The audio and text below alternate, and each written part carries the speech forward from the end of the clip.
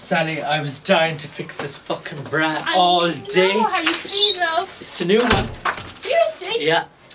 Come here, I never asked you, did you want a fag? No, I didn't love thanks because I'm at them five weeks now. Wasn't it well for some? Yeah. Oh, Sally, you will never believe this. Guess is, guess what's after happening? What happened, hon? Well, remember Stephanie's wedding? Yeah, I do. Why? I was walking up to my hotel room, and guess who I saw in there? Oh, Sally, I was heartbroken for over a month. Not your son, Barry. And he was there kissing a boy. Sally, he's after turning gay. I mean, was I a bad mother? Why is he after turning gay? I don't believe it. Your son, Barry? Are you sure? So him and Jessica got on like a house on fire. Ah, don't worry about it too much, Mary. You are a fantastic mother and I've seen you for years. Thanks, Sally. You were always great to me.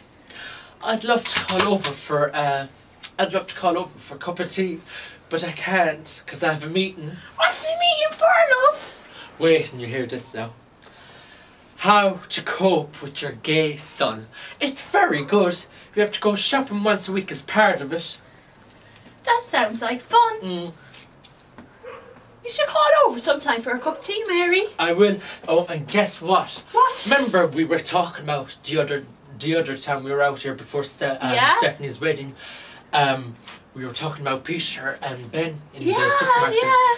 Well, they're after breaking up, Oh, and I heard I was that, yeah. I was thinking of getting Barry to go out with Ben. Yeah, that'd be brilliant. Yeah. Uh, look, I better go now and finish that order tea that the manager gave in. All right. I'll talk to you later. Bye. Bye, bye, bye. Mwah, Mwah. Bye, Sally. Bye. Um, I'll talk. Thanks for listening. No Thank you. That's over.